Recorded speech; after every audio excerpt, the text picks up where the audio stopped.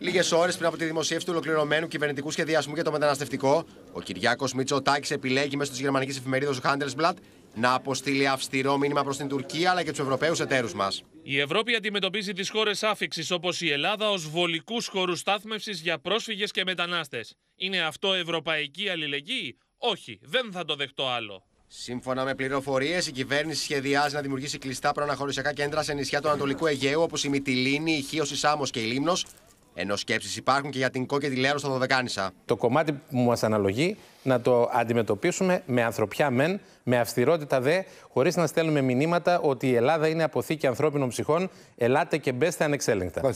Εσείς Και μου λέτε ότι δεν τους εσείς λέγατε παραμύθια της Χαλιμάς ότι άνοιξε ο Τσίπρας στα σύνορα κλπ. δεν Τώρα γιατί άνοιξε. έρχονται, αφού δεν είναι ο Τσίπρας και είναι ο Τώρα Μητσοτάκης. προχθές Φυλασσόμενες δομές με μικρότερη χωρητικότητα σχεδιάζονται σε δεύτερη φάση και στην ενδοχώρα σε περιφέρειες όπως η Κρήτη και η Πελοπόννησος, ενώ καθοριστική πτυχή του κυβερνητικού σχεδιασμού είναι η αυστηροποίηση στη φύλαξη των συνόρων. Μόρια είναι δημιούργημα του ΣΥΡΙΖΑ και της πολιτικής του. Έβαλε πολύ χαμηλά τον πύχη, αλλά αντίστοιχα η Νέα Δημοκρατία, πηγαίνοντας ο αρμόδιος υπουργός στη Μόρια και βρίσκοντας τα όλα καλά τον Ιούλιο, υιοθέτησε και κληρονόμησε ακριβώς αυτή την ευθύνη. Μιλώντας στο πρωινό του Όπεν, ο Περιφερειάρχης Βορείου Αιγαίου εμφανίστηκε αντίθετος στις εισηγήσεις που δέχεται το Μεγάρο Μαξίμου να δημιουργήσει κλειστές δομές σε αεροκατοικημένα νησιά. Ποτέ.